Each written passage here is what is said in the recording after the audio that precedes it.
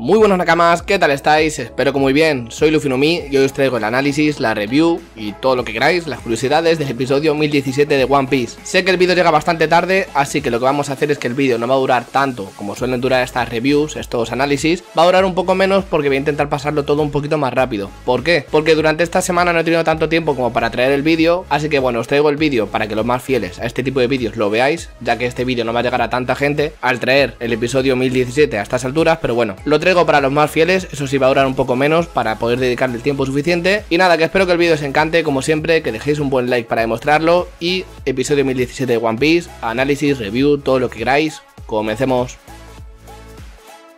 En el primer punto Nakamas veríamos como Luffy, Lo y Kid se vuelven a transformar, y digo que se vuelven a transformar porque en el episodio 1016, al terminar, ya se habían transformado, al menos Kid y Luffy que pueden, Lo no puede transformarse, ¿vale? Lo hace otras cosas, que ahora veremos. Entonces, Kid y Luffy se transformaron en el episodio 1016 al final, y de nuevo al comenzar el 1017 se volvían a transformar, eso sí, con la animación pues más pulida, mucho mejor, la verdad, se vio bastante guay. Se ve que querían que el episodio 1016 acabara con la animación de que se transformaron, pero luego cambiaron de opinión y se lo curraron un poco más para iniciar este episodio 1017. Mientras que Luffy y Kid, tal y como digo, se transforman, pues como siempre, ¿no? Pues cuarta marcha, el otro hace el punk en este. Vemos como Lo, para transformarse entre comillas, para prepararse para la pelea, pues en la animación lo que hace es mover un montón la mano. No sé si soy el único que se fija en estas cosas, pero quedó bastante ridículo porque Lo empezaba ya a mover la mano en plan de, mira, mira, mira, mira, una room. Y todos, wow, flipante. 10 de 10. Vemos como los tres comienzan a atacar a Kaido tras prepararse para la pelea. El primero sería Luffy, dándole golpes que sí que le duelen en esta ocasión a Kaido, lo que ya es pues un avance, ¿verdad? Un Kaido bastante raro, con la animación un poco rara cuando recibía los golpes, por así decirlo. Luffy lo manda a volar de unos buenos golpes bien fuertes. También he de decir que este vídeo va a ser más corto porque la gran mayoría del episodio fue pelea, ¿vale? Entonces no hay mucho que comentar, ¿vale? No voy a hablaros sobre cada pelea, cada golpe que dieron, voy a comentar pues lo más sonado, ¿vale? Luffy manda a volar a Kaido, lo que le causa bastante daño. Luego vemos como Kid lo aplasta con su transformación, con el Punk comienza a aplastar a Kaido con toda esa masa de metales que tiene, Kaido como si nada, vale, le duele porque recibe un ataque pues gigantesco, pero aún así le dice a Kid que bueno, que necesita muchos más metales para poder hacerle daño porque con ese aplastamiento no ha sido suficiente, así que de repente atacaría a Lo con su Room para mandar un montón de piedras afiladas hacia Kaido y atacarle de esa forma, pudiendo llegar a dañar a Kid, lo que causaría que discutan un poco ahí, se rían y tal. He de decir también a Kamas que la animación me ha encantado durante todo el episodio, ha estado genial y sobre todo la transformación de Luffy, o sea, no tiene nada que ver o no se parece lo suficiente por así decirlo,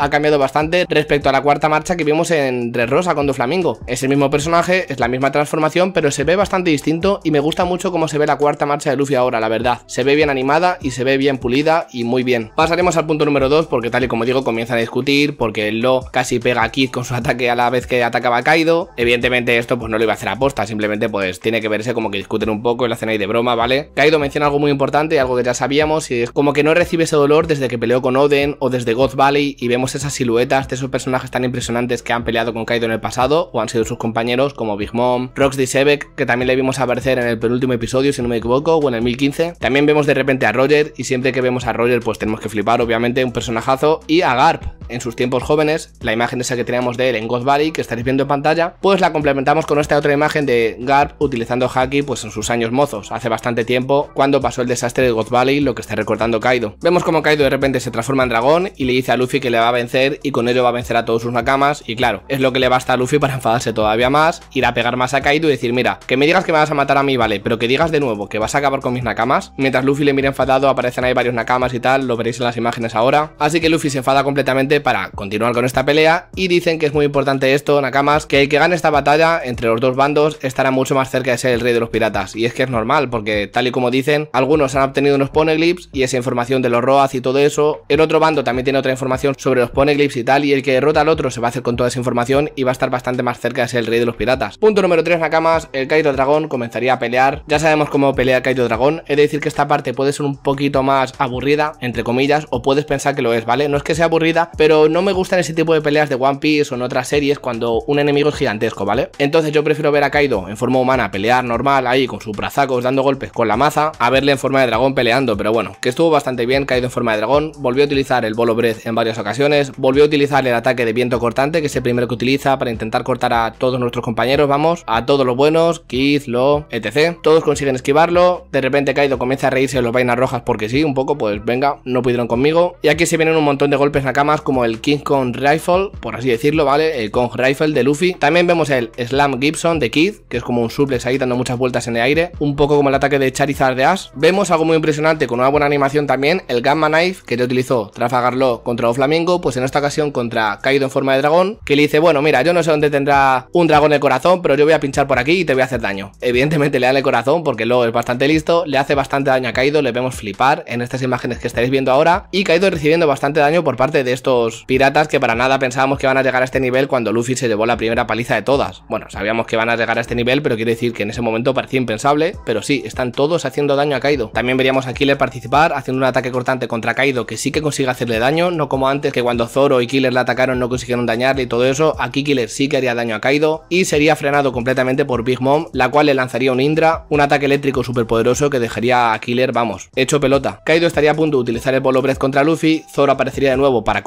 cortando el fuego con la técnica de Kinemon, y aquí Nakamas cambiamos de punto porque esto es impresionante. Punto número 4, Big Mom le dice a Kaido, mira, esquiva el ataque que va a hacer Zoro porque es que noto algo ahí raro, esa espada no es normal y te puede llegar a hacer mucho daño. Y esta escena habrá sido la más sonada sin lugar a dudas del episodio 1017, porque Zoro es muy famoso, porque Zoro nos encanta a todos y porque historia es muy interesante, o sea, un Yonko esquivando el ataque de Zoro, por prevención, porque podría llegar a hacer mucho daño, o sea, esto es muy serio. Big Mom advierte a Kaido, tal y como he dicho, que su espada no es normal, así que tiene que esquivar ese ataque. Zoro lanza un ataque impresionante, que la animación también es impresionante en Nakamas, esto lo vi hace mucho tiempo en el manga, pero es que es impresionante como se ve, y en el manga también se vio genial. Kaido lo esquiva como buenamente puede, Zoro acaba cortando un poquito a Kaido, o no sé si le corta el, bigote de dragón, no sé con lo que le hacía, la verdad no me acuerdo muy bien, pero bueno, que consigue cortarlo un poquito y también corta el cuerno completamente Onigashima, uno de los dos cuernos del techo de Onigashima, vamos. Incluso vemos que cuando Zoro utiliza a Emma para hacer este ataque aparece Oden de repente, lo que también impresiona a Kaido, ya sabemos que Kaido tiene un poco de traumita con Oden por haberle vencido a aquella forma. Vemos también como Zoro de repente es electrocutado por Big Mom, la cual pues no está participando mucho en la pelea, pero de repente se mete para lanzar rayitos, ayudar a Kaido de alguna forma y tal. Y vemos como todos de nuevo también son electrocutados por los poderes de Big Mom, la cual vale, tiene una Akuma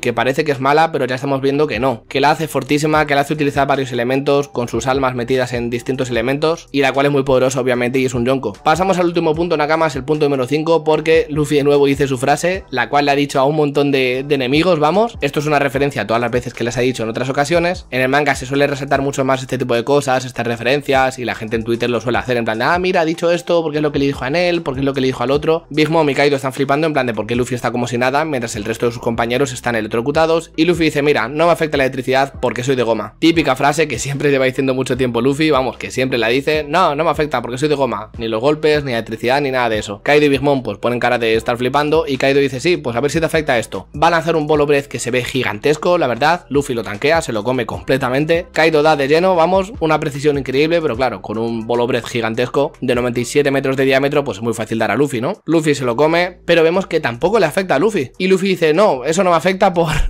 por mis agallas. y ya está, ¿no?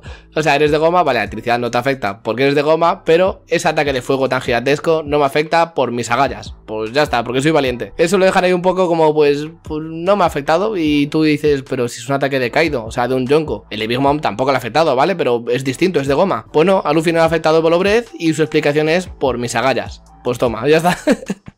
Estaréis flipando, estaréis diciendo, pero esto, ¿por qué no lo explican? ¿Por qué? ¿Qué pasa? ¿Simplemente ya está? Pues sí, Nakamas. Dice, por mis agallas, ya está. Me lo he comido y no me afecta. Poco raro, la verdad, te dejan un poco ahí sin explicación, pero pues bueno, no hay explicación. Y el episodio acabaría con Luffy haciendo un ataque que de verdad parece el Gatling Kong, vamos, típico Gaturingu, o como queramos llamarlo, Nakamas, en versión Kong, en versión de cuarta marcha ahí golpeando fuerte. Un ataque que se ve devastador, la verdad, golpeando muchas veces y muy fuerte a Kaido. Veríamos en varias ocasiones como Luffy ha derrotado a otros enemigos. Por ejemplo, este ataque, ya me entendéis, sin cuarta marcha, en otras condiciones, ya sé con lo que sea, pues derrotaría a Rob Lucci, el Gatoringu que utiliza contra Crocodile, contra Enel, contra otros muchos enemigos, y tiene pinta de ser un ataque con el que Luffy debería acabar la pelea, y está claro que no lo va a hacer, claro, Kaido no va a perder por esto. El episodio acaba con Kaido recibiendo un montón de golpes de Luffy que se ve que le afectan. Evidentemente, este no es el golpe final, pero se ve como el siguiente paso que tenía que dar Luffy para ser un golpe final. Ya lo ha hecho en Jar Second, ya lo ha hecho con Jar ahora con Kong con la cuarta marcha, entonces bueno, se ve como un ataque muy potente que debería derribar a cualquier otro rival, pero que con Kaido no va a funcionar del todo, obviamente. Y nada, Nakamas, hasta aquí el episodio, yo os lo digo, quería traer el vídeo sí o sí, aunque sea un poco más corto, por complaceros a vosotros que siempre seguís estas reviews, aunque la traiga más tarde, espero que la hayáis visto, y que le deis mucho calor, le deis mucho like, como siempre hacéis, porque me encanta que me apoyéis tanto siempre, y lo agradezco un montón. El episodio ha tenido la mayoría del tiempo combate, entonces bueno, tampoco había mucho que comentar, he intentado estirarlo un poquito aún así, que dure poco, pero dure lo suficiente para que os guste. Y nada, Nakamas, la nota para este episodio es un 8 y medio, venga, no ha sido muy revelador, no te trae información nueva, no te cierra algún misterio ni te da información nueva como One Piece hace, que te cierra una puerta de un misterio y te abre 7 ventanas con 7 misterios nuevos, pero bueno, está bien, mucha pelea, pero muy entretenido. Y el mejor momento del episodio sin duda lo de Zoro, que te da para pensar en plan de, bueno, si Big Mom ya lo sabía lo de la espada, ¿por qué? A lo mejor tiene algo que ver con su fruta, con el alma que puede haber dentro de Emma, que puede ser lo de Oden, que puede ser qué cosa, te da para teorizar un poco. Un momento impresionante y es que un Yonko está esquivando el ataque de Zoro. Y nada, Nakamas, que por aquí a la derecha os voy a dejar otro vídeo que creo que os puede gustar, además de dejaros por aquí a la izquierda el botón para que os unáis a mi tripulación. Nos vemos en el siguiente vídeo. Un saludo, Nakamas.